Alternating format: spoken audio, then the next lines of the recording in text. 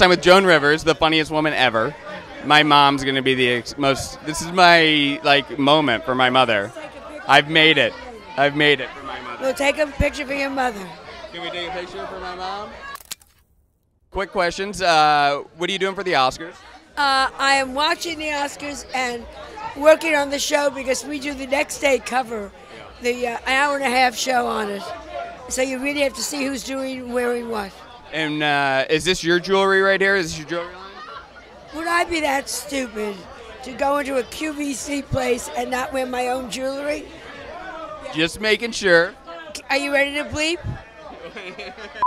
right, it's my jewelry. George Clooney's engaged because I finally let him off the hook. You let him off the hook, and you think Was it the a mutual thing?